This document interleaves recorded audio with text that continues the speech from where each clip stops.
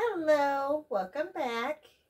It's actually Christmas Day here. I know video will be posted later. So I have my Christmas skirt that I made. I'll come closer so you can see the design.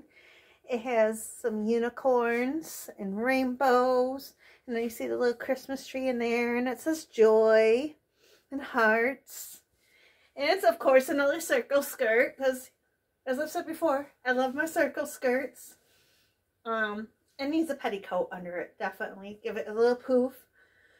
But I absolutely love it. I love how it came out on the sides.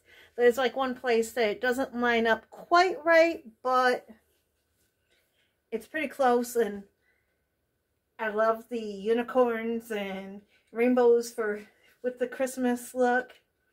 And then I used, it's covered in hair, but um, this is the first Christmas without my mom. She passed, um, she had uh, metastatic breast cancer and she fought for like over five years. We helped take care of her.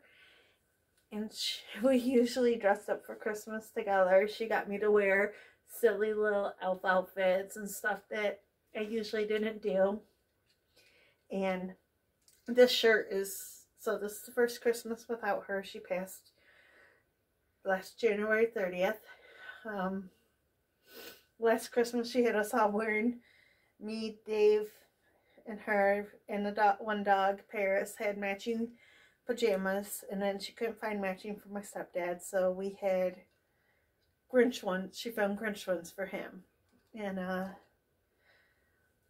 so for her today, I found one of her shirts. It says Believe. It's one of her Christmas shirts. So I thought it worked well with the skirt. So I have one of her little shirts that I'm wearing with my outfit. I made my headband too. It's rainbow.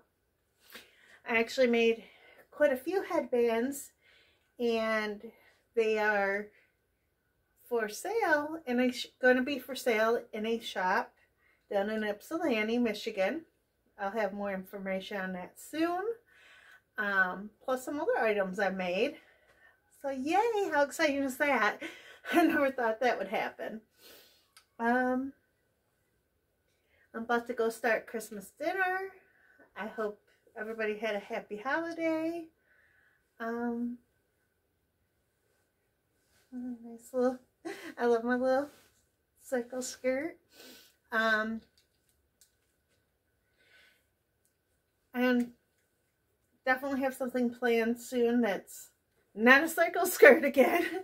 um, I got some fabric sent to me that for a gift from a very sweet friend that I plan on making a shirt for myself. So you'll see that soon.